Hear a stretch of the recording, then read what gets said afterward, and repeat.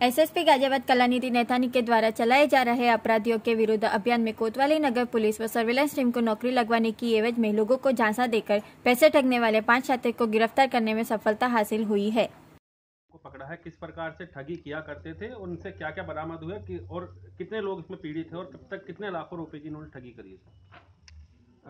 कल एसएसपी गाज़ियाबाद के निर्देशन में अ, और सीओ सिटी वन के पर्यवेक्षण में हमारे थानाध्यक्ष और सर्विलांस टीम प्रभारी नरेंद्र ने एक अच्छी साइबर क्राइम फ्रॉड का पर्दाफाश करा, जब चौधरी मोड़ के पास रात लगभग दस बजे मुखबिर सूचना पर इन्होंने पाँच अभियुक्तों को गिरफ़्तार करा है। ये लोग फर्जी नौकरी देने के नाम पर लोगों को ठगा करते थे।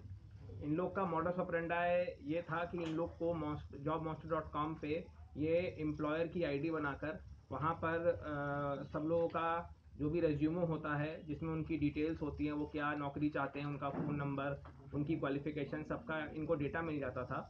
और उसके बाद ये फर्जी कॉल सेंटर चला के लोगों से फ़ोन करा करते थे उनको और उनको फर्जी नियुक्ति पुत्र फर्जी नियुक्ति पत्र देकर उनसे पैसे लिया करते थे।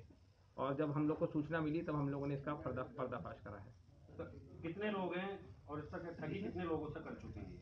देखिए ये तो विवेचना का पार्ट है। इसमें हम लोग को कुछ सामान मिला है डायरी मिली है सिम कार्ड मिले हैं। आगे विवेचना पता लगेगा इन्होंने काफ़ी लोग को ठगा है और लाखों रुपए इन्होंने अभी तक ठग चुके हैं ये लोग। इसी क्षेत्र में कार्य ये इसी क्षेत्र में थे। इसमें से जो अभियुक्त हैं ये खुद तो दो नोएडा के रहने वाले हैं एक औरैया का एक इटावा का और एक बिहार का है।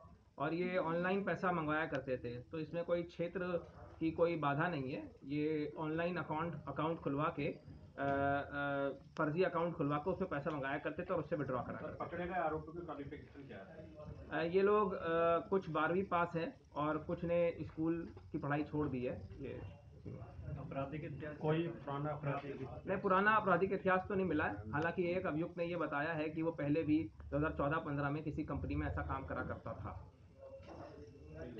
ये फर्जी नियुक्ति पत्र है किस कंपनियों के? ये अभी हम आपको डिटेल प्रोवाइड करवा देंगे। इसमें वो इनके लैपटॉप में ही मिले, इनके जब लैपटॉप की छानबीन करी तो फर्जी मोहरें मिली हैं इनके पास से फिजिकली और नियुक्ति पत्र मिला जो इन्होंने फर्जी साइन करके इन्होंने वो करा। तभी इसमें चार आप देख रहे हैं सक्षम न्यूज़ इंडिया। सबसे पहले, सबसे तेज।